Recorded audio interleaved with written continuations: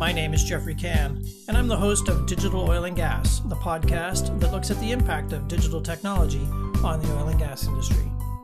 If you want to discuss this week's topic further, or just stay in touch, you can always reach me at Geoffrey Cann on Twitter or at geoffreycann.com.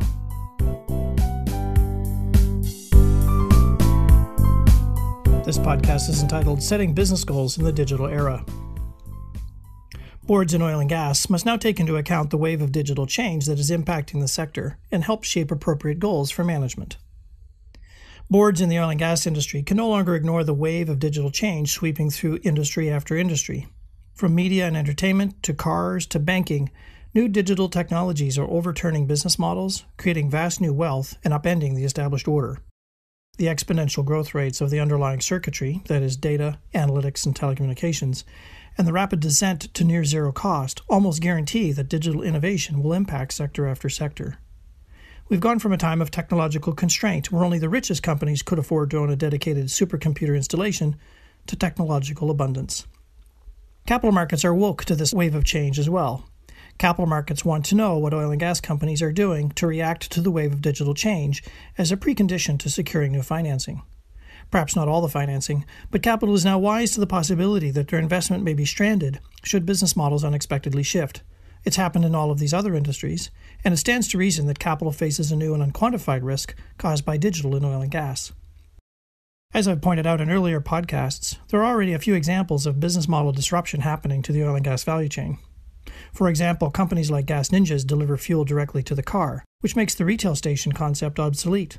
Automakers are experimenting with shared car business models, where the user of the service does not even own the car, does not purchase the fuel, and therefore does not even need to visit convenience stores.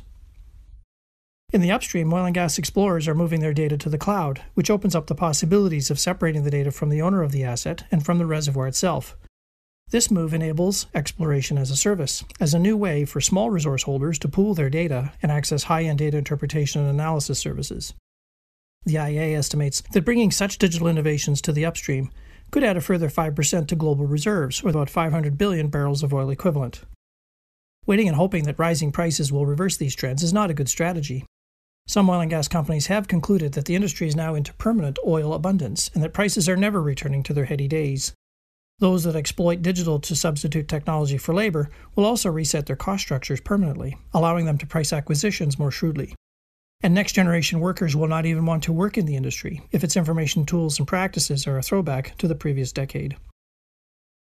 I like the phrase nose in and hands off to describe the board's role. The board should let managers manage, but should also take an interest in the company's activities. And one of those activities is setting goals for the year or the years to come. Depending on cultural norms, management will set goals for the business year, which boards then endorse, whereas in other cases, boards may be a little more directive with management.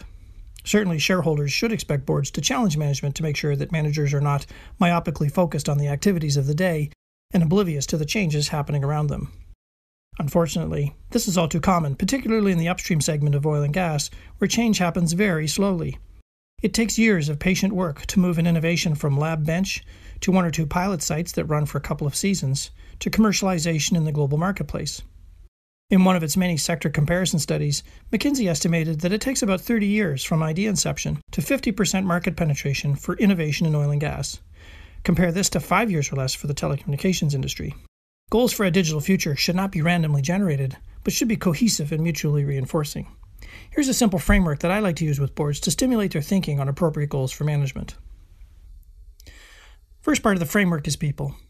Don't tell anyone, but technology is actually the easy part of digital. The hardest part is by far all the soft stuff securing the talent to derive digital, creating fertile conditions for digital adoption in the field, training the workforce on digital concepts, rewarding early adopters who show the way, the first mention of the framework, therefore, must look at how companies are approaching talent for digital.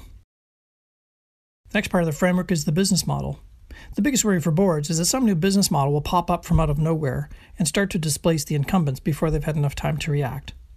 Recall that one company's margin is another company's target, and therefore begs the question which parts of the business model look ripe for targeting? Business model pressures have emerged already in retail and mobility, but there's also opportunities in other areas. These include the construction side, where margin on margin is common, in the upstream, where cloud computing clusters data more effectively, in field services, where collaboration could optimize service delivery, in carbon management, where blockchain could be used to track carbon emissions, and finally in financing, where cryptocurrency could transform funding and fractional ownership. So, the second part of the framework, therefore, must look at the business model to understand shifts that are potentially happening and their impact. Third part of the framework is innovation. The oil and gas industry is very innovative in some respects and thoroughly traditionalist in others. The way the industry contracts with its suppliers, its approach to royalties, the ownership of assets, and how they're commercialized, these areas have not materially changed for many years. For example, the upstream oil and gas sector devotes 85% of its innovation budget to just three of the 10 possible innovation levers. And these are better and faster extraction, better handling of water emissions, and improvements to product quality. So, the next dimension of the framework looks at the approach to innovation, resourcing of innovation, the allocation of innovation investments. Next part of the framework is digital disruptors. With digital racing off madly in all directions, it's not entirely clear which digital innovations look like they will have the biggest impact on oil and gas. Waiting for the future to arrive is one tactic, but another would be to experiment and monitor those that appear to have take up already. These include cloud computing, which is key to leveraging the distributed compute power out there, blockchain, which is fundamental to transforming business relationships, artificial intelligence, analytics, and machine learning, which drive better business decisions, the Internet of Things, which puts all the machines on the network, and robots, which automate routine human work, and finally, augmented reality, which enables a deeper understanding of assets and work practices. So, the, this dimension of the framework looks at what could be disruptive to the industry as a whole, includes oil and gas, its suppliers, customers, and regulators, and seeks to learn about them in an intentional manner. Final dimension of the framework are the digital foundations. There are four foundations that need to be in place for digital innovation to be fully successful. I reckon most companies in oil and gas have some of these foundations in place today, but the foundations may need shoring up to support a digital future. The foundation includes an ERP backbone. This is the basic building block system for companies that wish to embrace digital. Next is data, high quality data, which is the feedstock for digital innovation. Next is cyber. More digital means more attack points to be reinforced. And finally, digital infrastructure. Enabling all the devices in the cloud means better telecoms infrastructure. So, the last dimension of the framework looks at the reliability and stability of these critical foundational elements for digital. So, how do you put the framework to work? In the annual business planning process, management will set out its goals for the year. These will include the usual elements health and safety objectives, expansion, and growth spend, optimization and margin improvement, acquisitions and divestitures, people and target outcomes, social outcomes, and of course, financial commitments. What's generally not included are specific goals related to digital. I would add the framework to the planning cycle to provoke management into thinking about digitally enabled change. The framework needs to be pushed down the organization. It won't do to have just a handful of millennials in the home office dreaming up new uses for blockchain. It has to be real for the front line too. Ideally, the front line pulls digital into its business rather than a head office pushing digital onto the front line. With management now embedding digital goals into the plan, the board can then play its proper role to review and challenge management in the planning cycle. Boards should be looking for these kinds of goals that signal that digital is being treated seriously by management. Management messaging to the organization and markets about the importance of digital for the future frontline employee engagement, being shown, not told, of how digital is impacting the industry. Development of a digital strategy for the organization. Setting measurable business improvement targets attributable specifically to digital change. Funding for a portfolio of small digital experiments in key areas. Regular monitoring and awareness of emerging new and disruptive businesses. And finally, investing in the foundation, that is, ERP, cyber, data, and infrastructure, with an eye to the future. In time, digital will not be something that needs to be added to the management agenda. It will be deeply embedded in how management thinks about the business.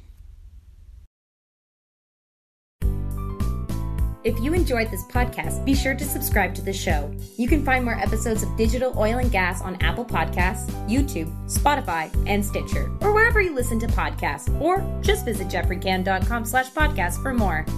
If you have a minute, please leave a review on Apple Podcasts and tell other people about the show. This helps them discover more great content. Later this year, Geoffrey will publish a book on the impacts of digital innovation on the oil and gas industry.